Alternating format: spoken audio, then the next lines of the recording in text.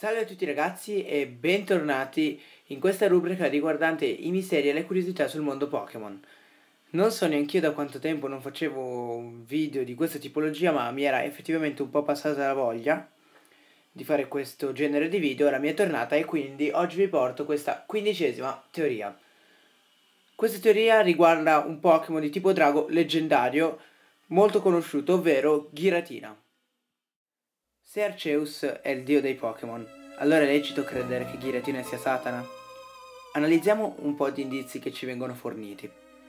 Giratina è ispirato a un basilisco. Il basilisco è noto come Re dei Serpenti. Ora, pensiamoci un attimo.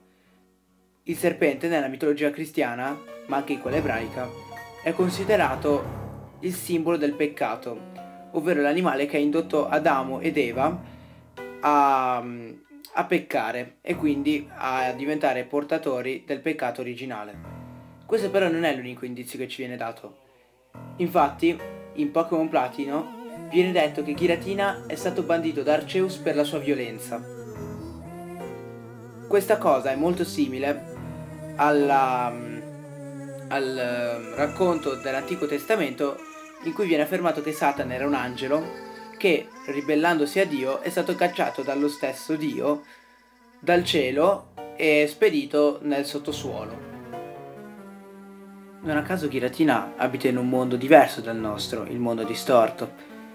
In Pokémon Platino abbiamo visto che Cyrus eh, viene condotto appunto nel mondo di Giratina a seguito dei suoi piani malvagi.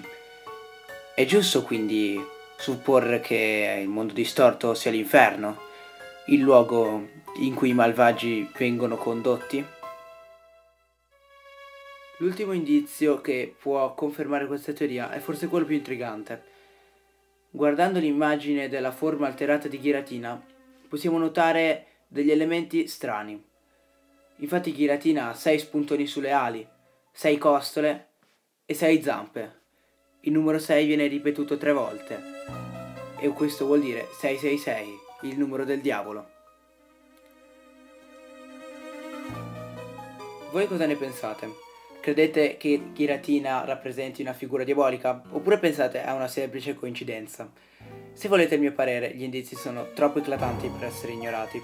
Giratina sicuramente rappresenta un'entità diabolica, ma sì, l'intento della Game Freak probabilmente non era quello di inserire messaggi subliminali nel gioco, dato che conosciamo, o meglio sappiamo, che la Game Freak è solita inserire Pokémon ispirati a mitologia.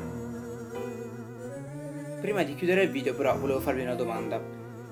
Se Arceus rappresenta Dio e Giratina rappresenta Satana, allora che cosa potrebbero rappresentare Palkia e Dialga? Se avete qualche idea rispondete qua sotto nei commenti. Io vi saluto se il video vi è piaciuto mettete un like, commentate, iscrivetevi e noi ci becchiamo in un prossimo video.